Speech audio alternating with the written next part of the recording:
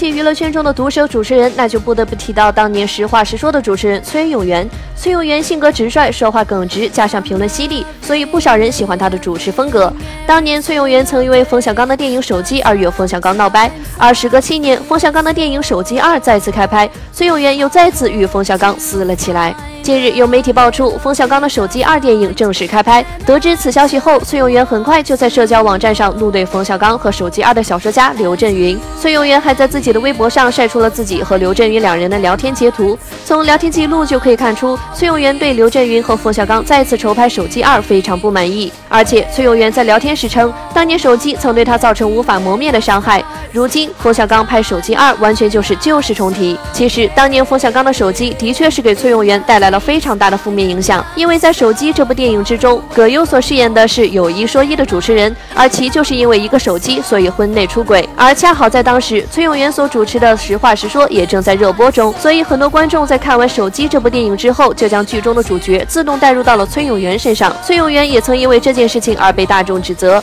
崔永元的妻女都曾受到影响。所以在《手机》这部作品播出之后，崔永元和冯小刚两人的矛盾就不断的激化。如今电影《手机二》的再次开拍，无疑等于重提两人的矛盾。从崔永元的态度来看，崔永元此次估计不会善罢甘休。对此你怎么看呢？